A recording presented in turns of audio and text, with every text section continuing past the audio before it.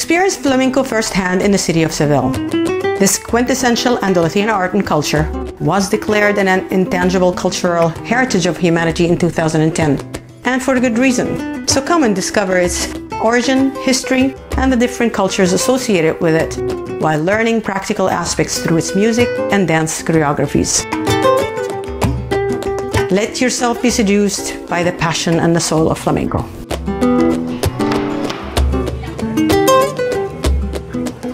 So usually when we come to class, we start off with an hour to an hour and a half of just learning about the history of flamenco. So uh, we'll learn about how um, the history of Spain is related to it, the different cultures that came and influenced flamenco, and also a lot about los palos, which are the different types of flamenco, and then about the different aspects of the, spectaculo, the show itself. So the guitarist, the, the person singing, and las palmas, the people clapping, and then of course the dance itself, which is very interesting. Um, and then the fun part comes, and we actually dance and learn and practice everything we learn in the theoretical part.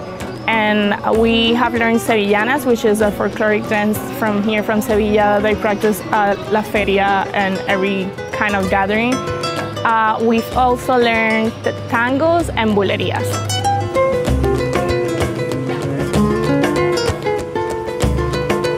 Definitely for me, the coolest thing that we've done so far is learn about how to sing flamenco.